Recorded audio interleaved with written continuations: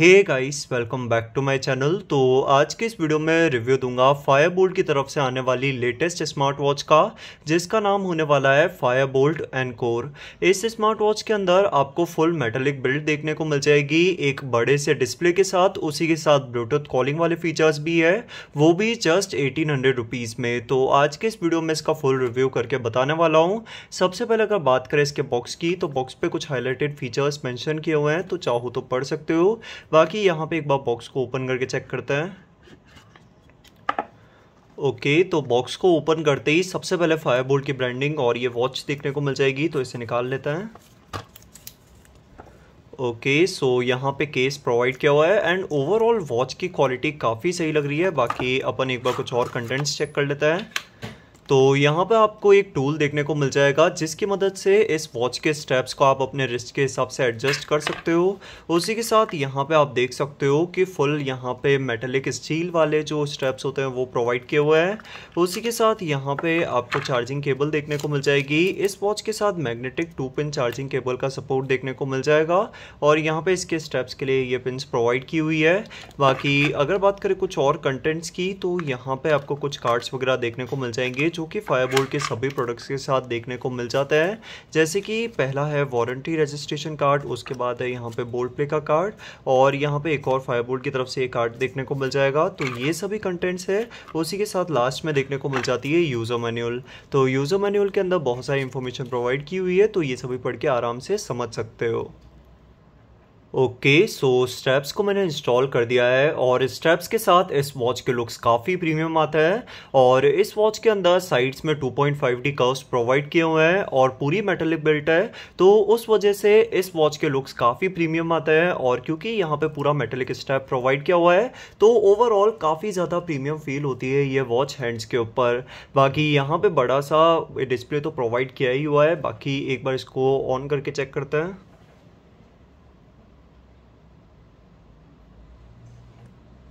Okay Fire Boltt की branding के साथ ऑन होती है ये स्मार्ट वॉच बाकी यहाँ पे इस साइड में स्पीकर और इस साइड में माइक्रोफोन भी देखने को मिल जाएगा। तो ये भी एक कॉलिंग वॉच रहने वाली है। तो यहाँ पे वॉच ऑन हो चुकी है और सबसे पहले यहाँ पे मैं टाइम बढ़ा देता हूँ। ओके okay, सो so, अब अगर सबसे पहले बात करें डिस्प्ले की तो इस वॉच के अंदर 1.83 इंचेस का डिस्प्ले प्रोवाइड किया हुआ है। और यहाँ पे इनबिल्ट आपको कुछ वॉच फेसेस देखने को मिल जाएँगे। यहाँ पे कुछ seven two eight watch faces provide किए हुए हैं। और इस वॉच के अंदर काफ़ी मिनिमल से बेजल्स देखने को मिल जाएँगे। नीचे की साइड में बिल्कुल हल्के से बेजल्स है। बाकी टॉप में और साइड्स में बहुत कम बेजल है। बाकी यहाँ पे आप देख सकते हो कि ब्लैक कलर का कोई वॉच फेस लगाओगे तो बेजल्स बिल्कुल भी विजिबल नहीं होंगे। और ओवरऑल इस वॉच के डिस्प्ले की क्वालिटी काफ़ी सही दिख रही है। बाकी यहाँ पे क्राउन चेक कर लेते हैं। क्राउन इस वॉच के अंदर वर्किंग नहीं है तो इस चीज़ को ध्यान में रखना। बाकी यहाँ पे ओवरऑल डिस्प्ले की क्वालिटी काफ़ी सही है और ब्राइटनेस भी इस वॉच के अंदर अच्छी खासी देखने को मिल जाती है तो डायरेक्ट सनलाइट में भी इसका डिस्प्ले आराम से विजिबल हो जाएगा। बाकी यहाँ पे अगर यूआई की बात करें तो नीचे की तरफ़ स्वाइप करके कंट्रोल पैनल देखने को मिल जाता है। यहाँ से आप ब्राइटनेस भी एडजस्ट कर सकते हो। पीक ब्राइटनेस इस वॉच की काफ़ी सही है और इसका डिस्प्ले आराम से विजिबल भी हो जाता है। उसके बाद अगर इसमें राइट की तरफ़ स्वाइप करोगे तो कुछ एप्लीकेशन वगैरह देखने को मिल जाएँगे और ऊपर की तरफ़ स्वाइप करके नोटिफिकेशंस वगैरह चेक कर सकते हो और लेफ़्ट की तरफ़ स्वाइप करके यहाँ पे आप अपने हिसाब से कंपोनेंट्स ऐड कर सकते हो। यहाँ पे बहुत सारे ऑप्शंस है तो इनमें से आप अपना कोई भी फेवरेट कंपोनेंट ऐड कर सकते हो। बाकी मेन्यू स्टाइल्स की बात करें तो यहाँ पे आपको सबसे पहले इस बटन को प्रेस करके हनीकॉम मोड देखने को मिल जाएगा। और हनीकॉम मोड के अंदर आप देख सकते हो कि बिल्कुल भी लैग्स वगैरह शो नहीं होते। ओवरऑल इस वॉच का डिस्प्ले काफ़ी स्मूथ है और यहाँ पे काफ़ी स्मूथ से एनिमेशन शो होते हैं। बाकी दो बार प्रेस करके यहाँ पे मेन्यू स्टाइल्स चेंज हो जाती है। तो यहाँ पर आपको ये वाली मेन्यू स्टाइल और ये वाली देखने को मिल जाएगी। टोटल यहाँ पर टू मेन्यू स्टाइल्स प्रोवाइड की हुई है, जिनको आप आराम से एक्सेस कर सकते हो। और ओवरऑल स्मूथनेस वॉच की की काफ़ी अच्छी है। बैटरी बैकअप की बात करें तो इस वॉच के अंदर टेन डेज़ का बैटरी बैकअप देखने को, स्टैंड बाय देखने को मिल जाएगा। और बैटरी बैकअप की बात करें तो इसको आप विदाउट कॉलिंग फीचर यूज़ करोगे तो टू से थ्री डेज़ का बैटरी बैकअप देखने को मिल जाएगा। और कॉलिंग फीचर यूज़ करके वन से टू डेज़ का बैटरी बैकअप देखने को मिल जाएगा। टेन डेज़ का इसके अंदर स्टैंड बाय है। बाकी अब एक एक करके इस वॉच के एप्लीकेशन चेक कर लेता है। सबसे पहले यहाँ पे ऑप्शन है स्पोर्ट्स का। और इस वॉच के अंदर स्पोर्ट्स से रिलेटेड आपको काफ़ी सारी इंफॉर्मेशन देखने को मिल जाएगी। जाएगी। स्टेप्स डिस्टेंस और कैलोरीज आप चेक कर सकते हो और वॉच का पेडोमीटर काफ़ी एक्यूरेट है। तो एक्यूरेटली आपके स्टेप्स वगैरह कैलकुलेट करके बता देगा। उसके बाद एक कॉलिंग वाले फीचर्स तो यहाँ पे मैं एक कॉल करके बताता हूँ। में आपका स्वागत एयरटेल 5G प्लस अब लाइव प्रीपेड संबंधित जानकारी के लिए एक दबाएँ। एक्सट्रीम फाइबर ऑप्टिक्स लाइन के लिए दो दबाएँ तो यहाँ पे अगर बात करें स्पीकर क्वालिटी की तो स्पीकर लाउड क्रिस्प और क्लियर है तो कॉल्स वगैरह आराम से अटेंड कर सकते हो, कोई प्रॉब्लम नहीं होगी। उसी के साथ यहाँ पे रिसेंट कॉल्स भी चेक कर सकते हो प्लस एप्लीकेशन से कॉन्टैक्ट्स वगैरह भी सिंक कर सकते हो। उसके बाद नेक्स्ट यहाँ पे स्लीप मॉनिटर प्रोवाइड किया हुआ है, और एक्यूरेटली ये आपके स्लीप को मॉनिटर करके बता देगा कि कितनी रेस्टफुल स्लीप थी, कितनी लाइट स्लीप थी, और सारी इन्फॉर्मेशन आपको एक्यूरेटली कैलकुलेट करके बता देगा। उसके बाद नेक्स्ट यहाँ पे हार्ट रेट सेंसर प्रोवाइड किया हुआ है तो यहाँ पे ये सेंसर ऑन हो चुका है। चेक करते हैं कि एयर के अंदर रीडिंग शो आप देख सकते हो एयर के अंदर रीडिंग शो नहीं होती है। बाकी इसकी रीडिंग्स को मैंने ऑक्सीमीटर से भी कंपेयर करके देखा है और ऑक्सीमीटर से काफ़ी हद तक रीडिंग्स मैच करती है। उसी के साथ इस वॉच के अंदर 24 आवर हार्ट रेट मॉनिटरिंग का भी ऑप्शन देखने को मिल जाएगा। तो ओवरऑल यहाँ पे हार्ट रेट सेंसर अच्छे से वर्क कर लेता है। उसके बाद नेक्स्ट यहाँ पे एस सेंसर प्रोवाइड किया हुआ है, पर एस के लिए dedicated red light sensor provide नहीं किया हुआ है।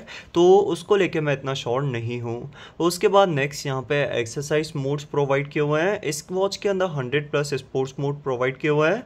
तो इनमें से आप कोई भी एक्सेस कर सकते हो और आपको बता ही चुका हूँ कि पेडोमीटर की एक्यूरेसी काफ़ी अच्छी है। तो इस वॉच के पेडोमीटर में आप यहाँ पे स्टेप्स वगैरह चेक कर सकते हो। एक्यूरेटली कैलकुलेट करके बता देगा। नेक्स्ट यहाँ पे ऑप्शन देखने को मिल जाएगा वेदर का वेदर वगैरह सिंक हो जाएगा। उसके बाद नेक्स्ट है यहाँ पे मैसेजेस का ऑप्शन जिसके अंदर नोटिफिकेशंस वगैरह चेक कर सकते हो। उसके बाद है यहाँ पे रिमोट कैप्चर का फीचर फिर यहाँ पे टाइमर प्रोवाइड किया हुआ है। और यहाँ पे आप कस्टमाइज टाइमर भी लगा सकते हो, और यहाँ पे जो पहले से दिए हुए हैं, इनको भी लगा सकते हो। उसके बाद नेक्स्ट यहाँ पे ब्रीथ का ऑप्शन है। इस वॉच के हिसाब से ब्रीदिंग करोगे तो फिर आपको हेल्थ बेनिफिट्स मिल सकते हैं। उसके बाद नेक्स्ट यहाँ पे ऑप्शन प्रोवाइड किया हुआ है अलार्म का, और अलार्म्स वगैरह आप आराम से सेट कर सकते हो। उसके बाद नेक्स्ट है यहाँ पे ऑप्शन म्यूज़िक प्लेयर का और क्योंकि वॉच का स्पीकर अच्छा है तो वॉच के अंदर ही म्यूज़िक सुन के इन्जॉय कर सकते हो। उसके बाद नेक्स्ट यहाँ पे प्रोवाइड किया हुआ है स्टॉप वॉच स्टॉप वॉच वगैरह आराम से एक्सेस कर सकते हो। देन उसके बाद अपन नेक्स्ट फीचर चेक कर लेते हैं। यहाँ पे फ्लैश लाइट आप देख सकते हो कि ब्राइटनेस इस वॉच की अच्छी खासी है और इसके अंदर आप नीचे की तरफ़ देख सकते हो बेजल थोड़े से ज़्यादा है। बाकी यहाँ पे टॉप में और साइड्स में काफ़ी कम बेजल्स है। उसके बाद नेक्स्ट है यहाँ पे फाइंड माई डिवाइस का ऑप्शन और फिर यहाँ पे गेम्स प्रोवाइड किए हुए हैं। पहला गेम है यहाँ पे टू और इसको खेल के टाइम पास कर सकते हो। उसके बाद है बैटलशिप वैसे इस वॉच का टच रेस्पॉन्स काफ़ी अच्छा है तो आप गेम्स वगैरह खेल के भी टाइम पास कर सकते हो। उसके बाद है यंग बर्ड तो ये वाला गेम तो वैसे बहुत पॉपुलर है और आजकल सारी ही वॉचेस के अंदर आने लग गया है तो ये वाला गेम खेल के भी टाइम पास कर सकते हो। उसके बाद नेक्स्ट यहाँ पे आपको अदर देखने को मिल जाएगा बेसिकली सेटिंग्स है। इसके अंदर पहला ऑप्शन है डिस्प्ले का, जिसके अंदर ब्राइटनेस एडजस्ट कर सकते हो ऑटो स्लीप है। उसके बाद वॉच फेस और मेन्यू व्यू का ऑप्शन है। उसके बाद डू नॉट डिस्टर्ब मोड है लो पावर मोड है। सिस्टम के अंदर जाके आपको बेसिक से फीचर्स देखने को मिल जाएँगे और उसके बाद यहाँ पे अबाउट सेक्शन प्रोवाइड किया हुआ है और इसके एप्लीकेशन का क्यूआर कोड प्रोवाइड किया हुआ है। तो ओवरऑल ये सभी फीचर्स थे इस स्मार्ट वॉच के अंदर। अगर बात करें इसकी प्राइसिंग की तो इसका प्राइसिंग है एटीन हंड्रेड रुपीज़ और एटीन हंड्रेड के हिसाब से वर्थ इट है।